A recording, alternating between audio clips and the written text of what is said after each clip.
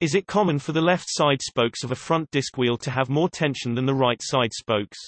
Wiping my bike down after a wet ride, I noticed that the left side spokes on my front wheel are tighter than the right side. I don't have a tensionometer but squeezing pairs on each side and plucking spokes around the wheel yields a feeling of increased tension and a tad higher pitch sound of the left side spokes. This is generally so around the entire wheel. The wheel is a 26-inch Mavic 119. The 32 spokes are laced 3 cross.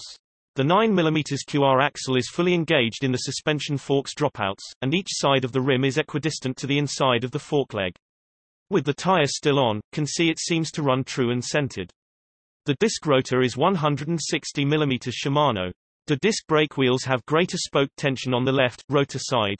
The side with the disc is dished in more than the other that is, the spoke flange is closer to the hub's centerline, so yes, I would expect it to have higher tension.